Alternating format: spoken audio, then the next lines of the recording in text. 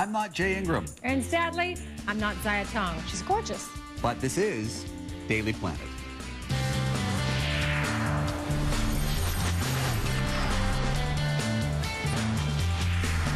Meet the pulverizer. The name says it all. It's a voracious machine with an unending appetite for concrete. The next time you pick up a garlic crusher, think about how it came to be in your hand. It didn't just spring from the air, it was designed by somebody or several people. Most of our tools have changed and evolved over the years, and this is especially true for the big tools used in construction and demolition. What goes into designing a tool to crush concrete, for example? Today, we have an answer.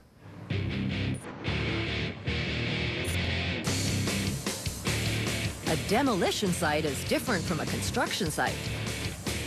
Instead of building things, if you can't cut it, or crush it, or rip it, you don't belong here.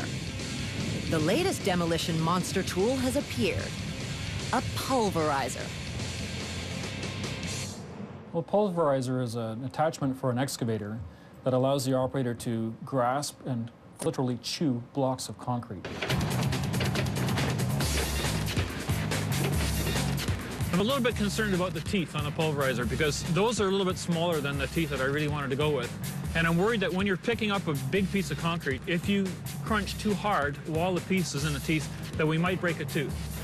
Mark Nye invents heavy equipment for the construction industry, and his latest invention is actually a new take on an older concrete eater, something his dad invented 30 years ago. The original concept that you came up with was to take a grapple and put some jaws in the back of it so that the customer would be able to pick up the material from the pile and move it around more easily. Even if we taper that down like so, mm-hmm. a bit more easy access when you squeeze it together. That's a conventional pulverizer. Mark and his father's new design takes the old pulverizer, blunt at the front end, and turns it into something with teeth and a hydraulic rod to tip the bucket up so the concrete won't spill out.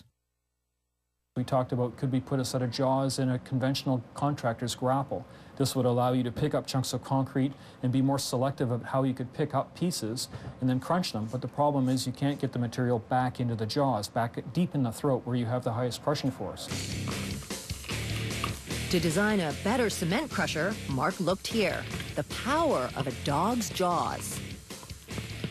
He'd go straight up to dive on it, grab it with his front teeth, pick it up off the ground, and he would probably lift it up and then jerk his mouth back and get it thrown back up into his jaws, where his carnassial teeth are and his molars are, where he had the highest pressure, the highest force available. And then he would crunch it away.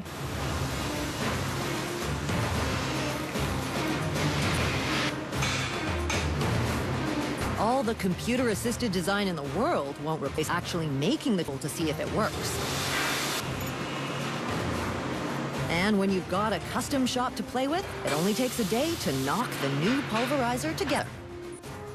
That looks good. Yeah, okay. Going up. Things that we're running into right now are the, the spacing of the teeth.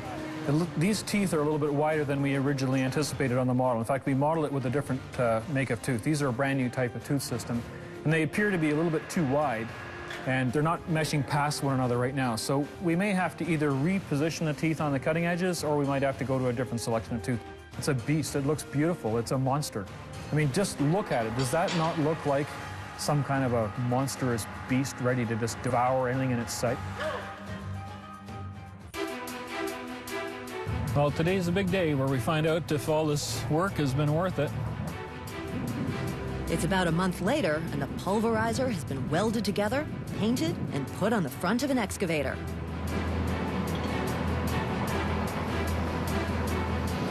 The teeth seem to be working fine. It can pick up everything from metal debris to mid-sized pieces of concrete. But the operator seems to be having some difficulty with the idea of tipping the bucket up to let the material fall back into the most effective crushing area. So it's a little bit different from the other pulverizer yeah, yeah. where gravity's working against you. So try to get gravity to work for you and open it wide.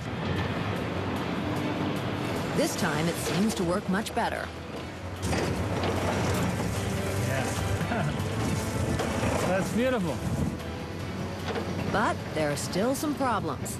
The concrete chunks are not being crushed in the very spot Mark figured would be the most effective. I think what's happening is the material is getting jammed between the bottoms of the teeth and this, this blocker plate. Yeah, these are the plates right here that are blocking the material from flowing through. And we could cut this plate out or possibly just cut a window in the plate and allow some of that material to flow out. And it would prevent the jamming that's occurring right now. Finally, Mark gets in the rig himself to figure out how to best operate the machine and discovers a possible answer. Once the material is in the bucket, keep it pointed at the ground. It'll do a couple of things. It'll allow you to see what's going on in the bottom. You'll be able to see the holes in the grizzly plate. And you'll also be able to see when the top teeth mesh through between the bottom teeth. That'll indicate to you that your cycle is finished. Go ahead and grab another mouthful. I don't think you have to worry anything about breaking the teeth at all. Uh, we've been beating it pretty hard, and they can they seem to be able to stand up to it. So just go ahead, and give her.